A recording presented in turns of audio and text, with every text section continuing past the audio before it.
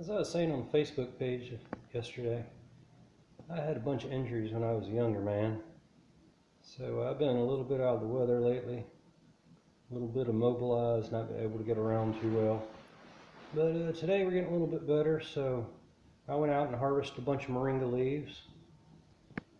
And I'm getting them strung up. And we're going to get these dried out, turn it into moringa powder.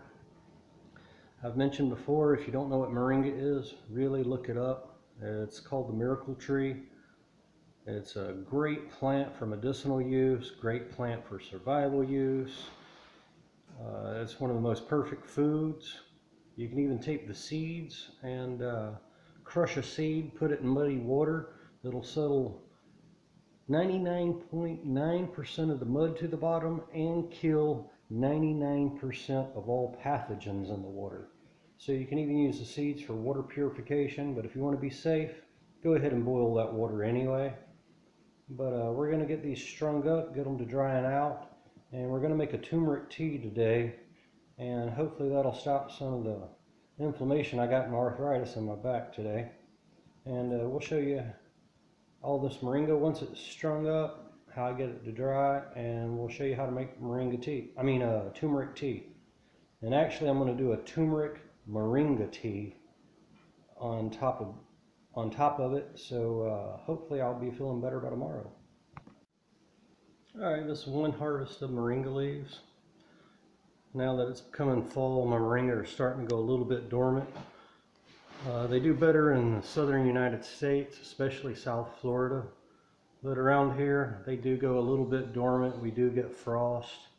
And if we get frost, they'll lose all of their leaves. If we get a freeze, the tree will freeze, but it will come back next year. I've probably done, I don't know, maybe 10 or 12 harvests this large this year. And I've been able to turn it all into powder and fill up three mason jars.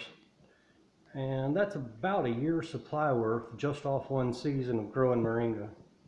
And I do this every year. We use the powder to make it all the way through the winter. You can't eat this fresh. Just the powder is more concentrated. And uh, I'll grab a mason jar and show you what the powder looks like.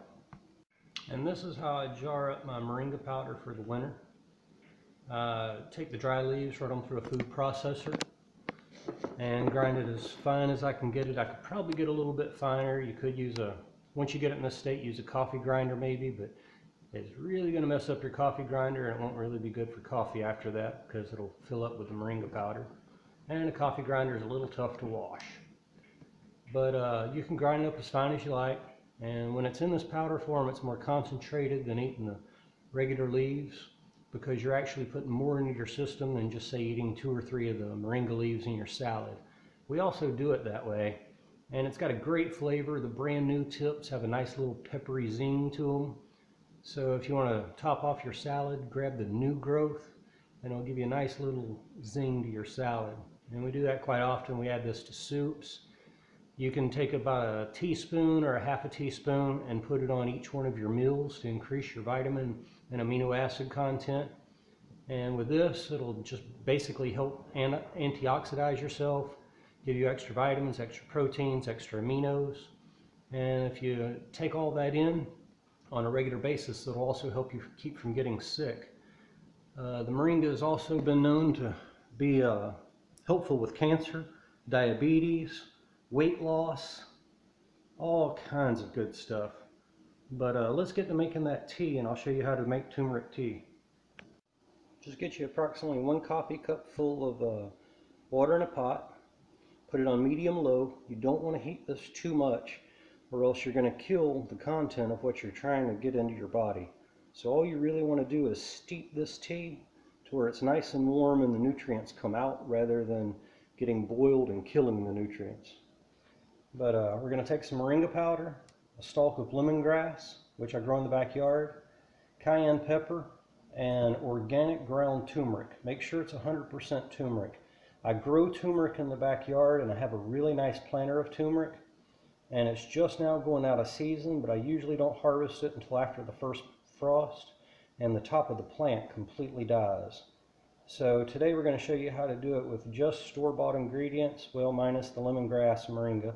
But you can buy uh, moringa in your local health food store. It comes in powder form.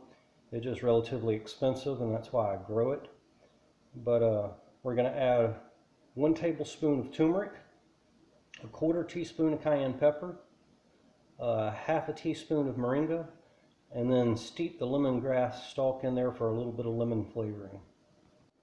All right, we have the turmeric in there, the cayenne pepper, the lemongrass. Uh, it's already getting warm to the touch. I just gave it a nice stir. We're going to steep this for maybe two or three minutes. It doesn't take too long.